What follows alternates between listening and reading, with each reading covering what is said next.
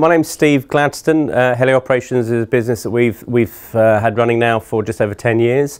Um, we started out uh, initially providing support um, to various helicopter operating companies, including CHC and Bristow's, uh, in terms of crewing, equipment, and then latterly some uh, regulatory and documentation work. And we've now moved into, uh, we're asked by the German Navy whether we could operate a Sea King helicopter and provide some training uh, similar to the training they used to receive from the Royal Navy for their air crew in parallel with the uh, Royal Navy training. Uh, the Sea King, having recently gone out of service with the Royal Navy, meant that the Royal Navy weren't training their air crew any longer and they needed to outsource some Sea King training, which is uh, why they came to HeliOperations. And when did that start? Uh, the first flying with the German students started September last year, so September 2017 and the plan is for a year's contract um, to train 12 of their pilots, eight of which will be trained as ab initios, um, and four uh, will undergo command upgrade training. Uh, and we've, we're pretty much two thirds of the way through them now. And we're based here at your base at Portland? Yeah, Portland um, is, uh, uh as you know, Portland used to be a naval air station. In fact, it was a naval uh, base as well. They've been flying helicopters here for the last 60 years. Um, in the last 10 years, with the close of the Portland base, the Coast Guard set up a um, station here to continue the work that the Navy were doing, providing search and rescue. It was a, um, a daytime only SAR base as part of UK SAR. And with the recent reorganisation of UK SAR, um, the rationalisation of it, Portland was considered um, um, not required as part of the 10 base plan that's currently in uh, um, um, place around the UK. So knowing that it was going to become surplus and having an involvement with the Portland base as part of the Coast Guard um, service, uh, we lobbied the government uh, and were able to make a bid together with a number of other um, um, possible purchasers and we were successful last year in uh, buying Portland. And uh, could you tell us a bit more about the uh, German Navy pilot training?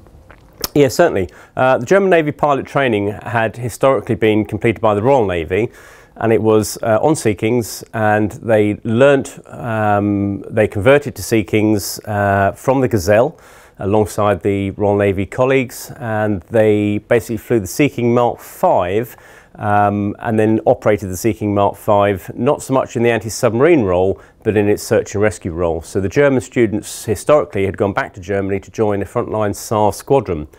So with that need still in place um, and the, and the um, uh, forthcoming replacement of their Sea King Mark 41 with NH90, uh, which is due to be operational in 2022, they needed to fill the gap between now and then and they requested the Navy um, to assist or continue to assist and clearly the Sea King training pipeline has stopped but the Navy now support HeliOperations delivering that training um, by providing the aircraft and some of the technical support together with Leonardo to now enable us to do the training. So our starting point was the training that they used to receive from the Royal Navy, which was specifically designed for the Royal Navy, which uh, by definition meant by the time they went back to the squadrons, the German Navy had to do conversion courses for them to fly the Mark 41, a few changes in procedures.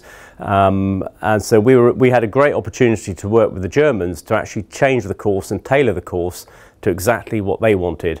The input standard from the German students has changed now because previously the Royal Navy trained them on Gazelles, uh, whereas now the German Navy trained the students on the EC-135. So they come to us as a multi-pilot trained um, um, twin uh, operators, uh, twin helicopter operators. So that's the input standard. The output standard is such that they um, join the German search and rescue base at Nordholz.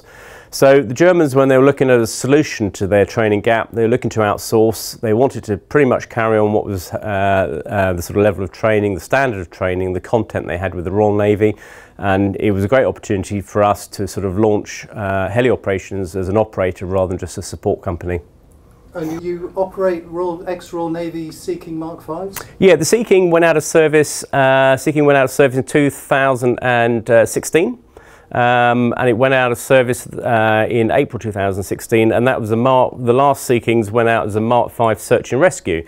Because prior to that, the Mark 6 Sea Kings had been replaced by the Merlin, although the Navy still operate the Mark 7 Sea King until the end of September this year.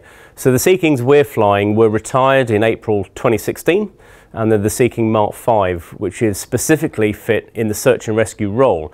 So it's very similar to the Mark VI, which is an anti-submarine uh, uh, um, fit, um, but it obviously has had the sonar and the sonic station removed. But it does still have the radar in the back, and it has all the automatics uh, necessary for search and rescue flying.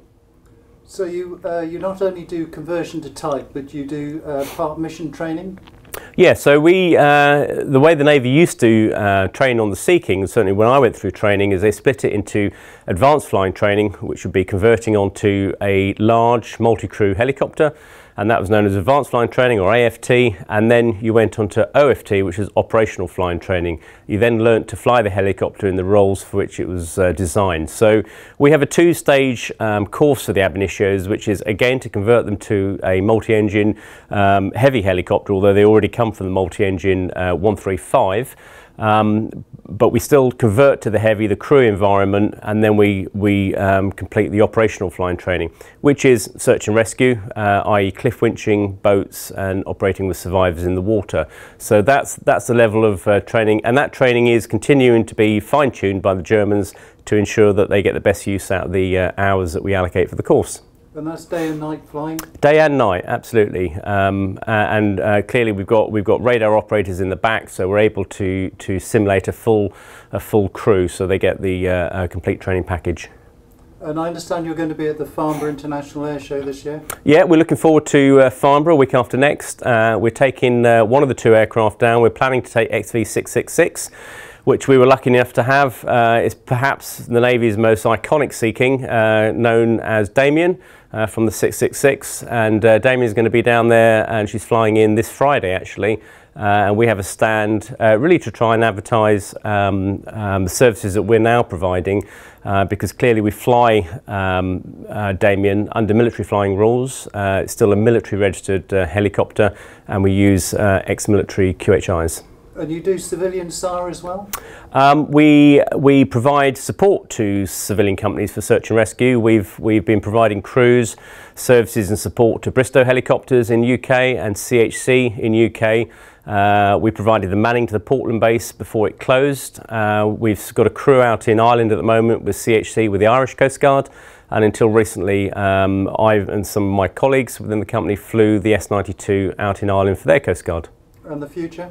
The future really is, uh, we, we believe we've got a, a, little bit of a niche market at the moment providing uh, military training uh, and that can happen all the time that the UK government are happy to support it um, with, with partner nations.